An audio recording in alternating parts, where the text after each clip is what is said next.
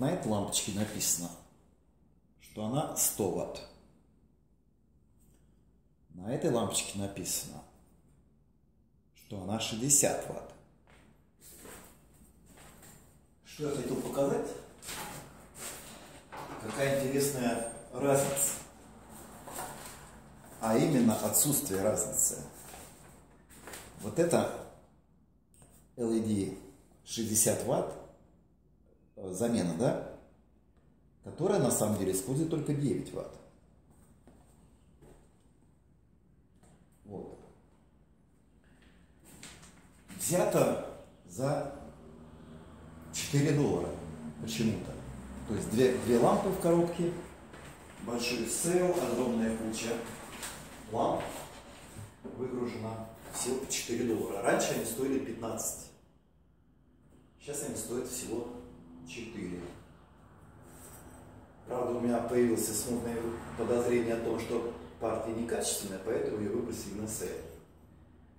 И исходя из этого, мне захотелось ее купить и посмотреть, а в чем, собственно говоря, что с ними не так.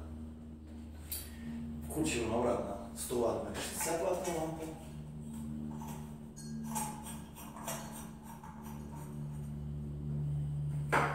Возвращаемся на место.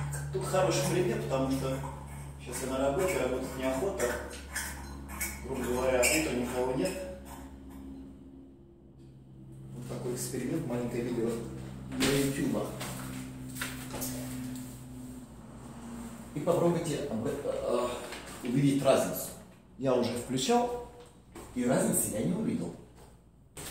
Включаем. Все четыре горят абсолютно одинаковой яркостью.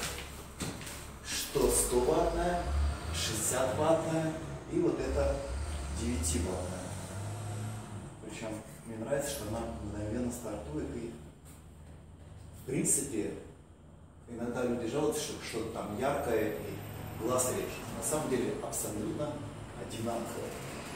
Вот 60-ваттная глаз не режет совсем.